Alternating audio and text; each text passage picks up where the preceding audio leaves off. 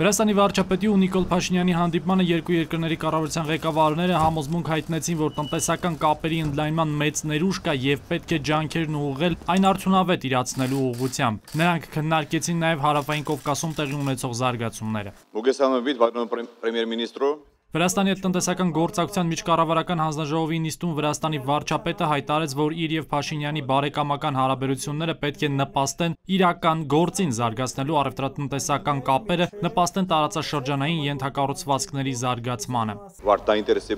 Մենք հետաքրքրված ենք տարածաշրջանային խաղաղությամբ ու կայունությամբ։ Վրաստանը միշտ մոտիվացված է այս գործընթացում ստանձնելու կարևորագույն դերակատարություն եւ այդ նպատակով ես խաղաղ հարևանության նախաձեռնությունն եմ հնչեցրել։ Նիկոլ Փաշինյանը հայտարարեց, որ դեռևս 2019-ին են հավակնոտ նշաձող սահմանել առևտրաշրջանառության ծավալը հասցնել տարեկան 1 միլիարդ դոլարի։ Կորոնավիրուսը խանգարել է այդ գործընթացին, բայց հիմա կրկին վերահաստատում են այդ մտադրությունը։ Սա չափազանց կարևոր եւ հավակնոտ խնդիր է,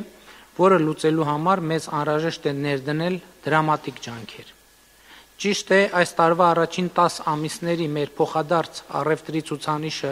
արդեն իսկ գերազանցել է նախորդ